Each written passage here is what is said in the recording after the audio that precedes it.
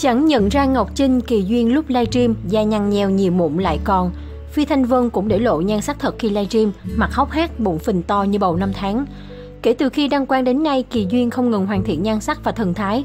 Điều đó được thể hiện rõ qua các bức hình. Vậy như trong livestream, người ta thấy một Kỳ Duyên hoàn toàn khác biệt. Dù các đường nét vẫn giữ được nguyên, nhưng làn da ngăm đen khiến nhan sắc của cô bị lu mờ. Làn da trắng hồng không mụn, không nếp nhăn, thế nhưng khi để mặt mộc livestream, nhan sắc Mỹ Linh cũng giảm đi nhiều phần. Khuôn mặt vờ lai của Ngọc Trinh có lẽ chỉ có trên ảnh mà thôi, nhìn gương mặt lờ đờ thiếu sức sống, chắc nhiều người phải dịu mắt. Nhìn lại xem có đúng phải Ngọc Trinh hay không. Giật mình suýt không nhận ra Ellie Trần từ bao giờ cô đã sở hữu cặp má bánh bao như thế này. Gương mặt của cô khi livestream chắc phải to gấp rưỡi so với trên ảnh. Khi để mặt mộc livestream gương mặt của anh Tú trông thiếu sức sống, có thể thấy ngoài nước da ngâm đen thì mắt cô thâm quần khá nhiều. Còn đây là cô nàng Khay Thiên Nguyễn khi livestream, đôi mày sâu rớm như trên ảnh lại hoàn toàn biến mất khi cô nàng livestream dạy cách trang điểm. Thực tế gương mặt của Linh Chi khá to, thế nhưng nhờ biết lựa chọn góc chụp gương mặt của cô trông thon gọn hơn hẳn. Trong Lâm Khánh Chi nhợt nhạt thiếu sức sống khác hẳn trên ảnh. Vùng da cổ của cô chảy xệ trông chẳng khác gì bà lão U60. Phi Thanh Vân cũng để lộ nhan sắc thật khi livestream, mặt hốc hác, bụng phình to như bầu năm tháng.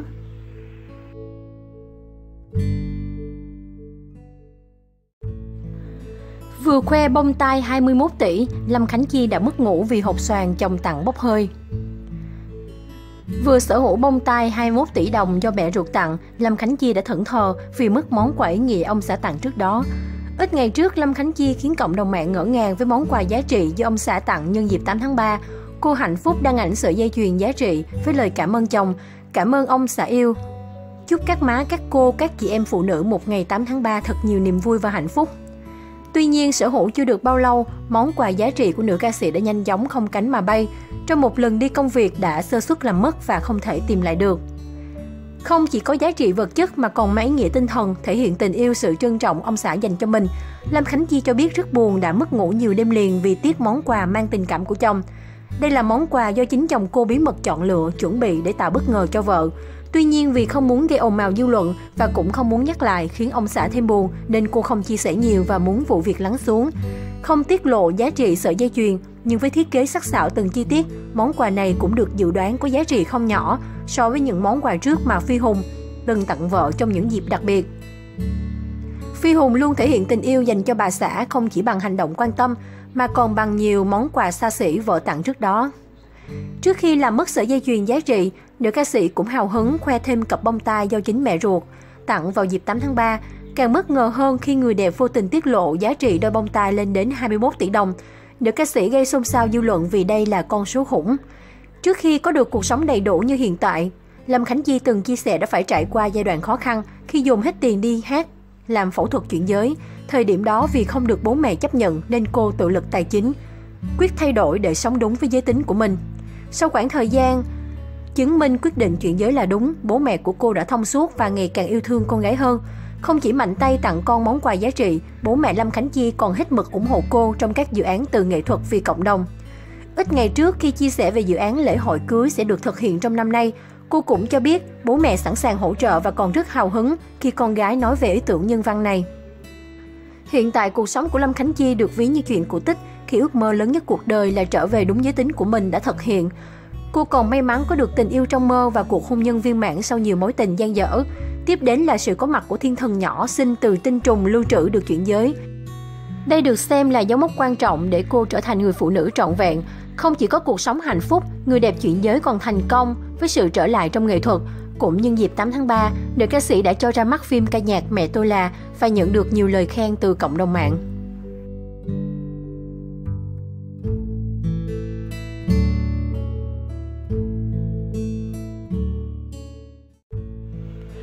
Nhã Phương lần đầu khoe tổ ấm ở thành phố Hồ Chí Minh, nhà ở quê lại thế này. Sự khác biệt giữa nhà ở quê và Sài Gòn của bà xã Trường Giang khiến nhiều người bất ngờ.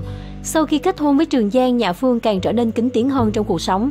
Trên trang cá nhân, cô thỉnh thoảng mới chia sẻ ảnh chụp cùng chồng và các dự án phim ảnh. Ngay cả khi vướng tin đồn bí mật sinh con, cô cũng không lên tiếng. Cách đây vài ngày, nữ diễn viên tuổi thanh xuân gây bất ngờ khi khoe ảnh tổ ấm nhỏ của cô và Trường Giang. Đây là lần đầu tiên Nhã Phương chia sẻ ảnh, nhà riêng trên mạng xã hội, chỉ với một cấp chụp nhưng cũng đủ thấy không gian sống vợ chồng Trường Giang Nhã Phương có thiết kế rộng rãi. Phía sau lưng cô được chọn làm nơi treo ảnh cưới, đằng sau là khu bếp khang trang. Nhã Phương khoe ảnh tự sướng, như cư dân mạng chỉ chú ý đến không gian sống của vợ chồng người đẹp. Căn biệt thự 15 tỷ của vợ chồng Trường Giang Nhã Phương ở Phú Quốc, đây là căn nhà do chàng mười khó tậu vào năm 2017. Trường Giang chụp ảnh kỷ niệm sinh nhật cùng vài người bạn ngay trước căn biệt thự. Trong buổi tiệc sinh nhật, Nhã Phương khi đó là bạn gái của anh cũng có mặt. Dù mua nhà, nhưng anh sợ không có điều kiện qua lại đây thường xuyên vì vướng công việc tại thành phố. Đây được cho là địa điểm nghỉ dưỡng tuyệt vời của hai vợ chồng nghệ sĩ. Nội thất cầu kỳ trong căn biệt thự. Được biết, biệt thự này là tích góp của 10 khó Trường Giang trong những năm lăn lộn với nghề.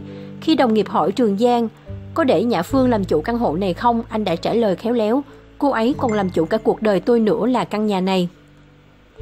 Ngoài căn biệt thự 15 tỷ, Trường Giang còn sở hữu một căn chung cư cao cấp khác ở Sài Gòn. Tuy nhiên là người kính tiếng, anh hiếm khi chia sẻ hình ảnh cuộc sống riêng trên mạng xã hội. Không gian nhà của Nhã Phương trong ngày cưới của người đẹp được biết gia đình nữ diễn viên 9X đã chuyển về sống tại quận Tân Bình, thành phố Hồ Chí Minh. Đây cũng là lần đầu tiên hình ảnh tư gia của gia đình Nhã Phương được tiết lộ với báo giới. Hình ảnh hiếm hoi về nơi sinh sống của Nhã Phương trước khi theo chồng về Dinh. Bên ngoài căn nhà Đắk lắc của gia đình Nhã Phương trong ngày cưới em gái cô, Đắk lắc là nơi cô lớn lên trước khi lên Sài Gòn lập nghiệp. Thời chưa nổi tiếng, nữ diễn viên thường xuyên cập nhật hình ảnh mỗi khi về thăm gia mẹ. Căn nhà cấp 4 ở huyện Thăng Bình, Quảng Nam, quê gốc của Nhã Phương. Đây là hình ảnh được chụp khi Trường Giang Nhã Phương cùng về quê nữ diễn viên thắp hương tổ tiên sau khi tổ chức lễ đính hôn vào cuối tháng 8 2018. Đây là ngôi nhà cũ mà cha mẹ Nhã Phương sinh sống trước khi vào Đắk Lắk lập nghiệp và sinh con tại đó. Sau khi ông bà rời đi, ngôi nhà được nhường lại cho gia đình người em gái, tức cô ruột Nhã Phương. Nhà ở quê của Trường Giang tại xã Tân Hiệp, Long Thành. Đây là nơi bố mẹ anh đang sinh sống, nhìn từ bên ngoài căn nhà trông rộng rãi và khang trang. Bên trong căn nhà ở quê của ông xã Nhã Phương, với hàng hiên rộng rãi thoáng đãng được trang trí bằng những chậu cây xanh. Ngoài ra còn có một bộ bàn ghế để kê ngoài hiên, ngồi nghỉ ngơi thư giãn. Bên ngoài nhà của Trường Giang rợp bóng cây xanh mát. Trường Giang, đàn anh đàn chị chịu xuất hiện là nhờ uy tín của tôi và Harry Won. Phương Thanh liên tục được Trường Giang gọi bằng những mỹ từ cao ngất như danh ca, ca sĩ huyền thoại. Vừa qua tập 19 chương trình siêu bất ngờ lên sóng với nhiều tiết mục hấp dẫn. Tham gia chương trình tuần này là sự xuất hiện của Hoa hậu nhân ái Thủy Tiên, ca sĩ đại nhân Huỳnh Lập, Dương Thanh Vàng và Hồ Việt Trung. Mặt Nhã Phương, Trường Giang vẫn mê mẩn nhìn đám đuối Hoa hậu Thủy Tiên. Mở màn chương trình khi Harry Won giới thiệu về sự xuất hiện của một người đẹp cực kỳ xinh đẹp, đẹp lắm luôn, cỡ tôi không là gì cả. Trường Giang đã hoài nghi và hỏi, đẹp bằng cỡ em không? Em tôi mà không có cửa thì ai có cửa đây? Từ câu hỏi này, nhiều khán giả cho rằng Trường Giang dù ngoài miệng luôn tỏ vẻ chê bai kỳ thị nhưng trong lòng vẫn thích và công nhận vẻ đẹp của Harry Won. Tới khi Hoa hậu nhân ái Thủy Tiên bước ra, Trường Giang như bị trúng tí xét ái tình, nhìn đắm đuối không rời, miệng há hốc, khiến Harry Won phải gọi, anh Giang ơi. Sau đó Trường Giang còn bỏ Harry Won để chạy tới Hoa hậu Thủy Tiên trò chuyện. Anh lập tức quay về trêu chọc Harry Won khi nói, đứng yên đó cho tôi ra nói chuyện, người ta là Hoa hậu nhân ái, còn đây là phù thủy nhân ái. Trường Giang khá bối rối khi bắt tay Hoa hậu Thủy Tiên, anh hỏi, người ta phong Thủy Tiên làm Hoa hậu nhân ái vì mình tốt bụng đúng không? Thủy Tiên tưởng đó là một câu hỏi đá xoáy nên đã hỏi lại, Trường Giang không thấy chữ nhân ái nó hiện lên mặt tôi sao? Vì quá mê mẩn Hoa hậu Thủy Tiên nên Trường Giang tuyên bố hôm nay anh sẽ giúp em bằng mọi giá mang thật nhiều tiền về cho gia đình. Tuy nhiên tấm lòng của Trường Giang đã bị Hoa hậu Thủy Tiên phủ phàng, cô nói thẳng. Tôi nghe nói không nên tin Trường Giang. Câu nói này đã khiến Trường Giang thất vọng và thốt lên, sao Hoa hậu nhân ái gì mà kỳ vậy? Trường Giang tự nhận mình lùng và đá xoáy trứng thành. Sau khi các người chơi ổn định chỗ ngồi, Trường Giang như thường lệ. Liền giới thiệu luật chơi và năm anh chàng người mẫu điển trai có nhiệm vụ đập bột lên đầu người chơi đoán sai. Khi năm mẫu nam xấu múa xuất hiện, đại nhân liền tận dụng cơ hội đã kích Trường Giang, anh nói Tự nhiên tôi thấy tội nghiệp Trường Giang quá, anh Giang đúng lại gần các chàng trai kia đi. Dương Thanh Vàng cũng tranh thủ đã kích Trường Giang. Nãy giờ tôi cứ thắc mắc hoài là tại sao Harry Won mặc một chiếc váy đẹp mà lại đi giày bệt thế kia. Khi năm chàng trai bước ra, tôi mới biết Harry Won buộc phải đi giày như thế để cân xứng với Trường Giang. Trường Giang nghe xong không nói được gì chỉ thanh minh và nhìn sang Harry Won nói Cái này là vô tình mặc giống nhau, giày giống này. Ai cũng biết tôi lùn và tôi cũng biết tôi lùn rồi nên tôi chẳng cần phải mang giày cao hay đi giày độn như ai đó. Câu nói này của Trường Giang khiến khán giả biết ngay anh đang đá xoáy Trấn Thành vì Trấn Thành chuyên đi giày độn lên truyền hình. Trường Giang, đàn anh đàn chị mà chịu xuất hiện là nhờ uy tín của tôi. Cũng trong tuần này, chương trình đã mời đến sự xuất hiện của ca sĩ Phương Thanh. Tại đây Phương Thanh thể hiện đẳng cấp một ca sĩ hàng đầu khi khoe chất giọng nội lực bao năm không đổi. Dù đã ở tuổi gần 50 nhưng Phương Thanh vẫn hát rất khỏe khoắn. Gằn giọng máu lửa trên những quãng cao trào tạo ra âm lượng lớn áp đảo tất cả. Đại nhân có được Phương Thanh mời hát chung nhưng tỏ ra lép vế và bị đàn chị đàn áp hoàn toàn. Phương Thanh liên tục được Trường Giang gọi bằng những mỹ từ cao ngất như danh ca, ca sĩ huyền thoại. Anh còn tự hào nói, đàn anh đàn chị mà chịu xuất hiện là nhờ uy tín của tôi và Haragon.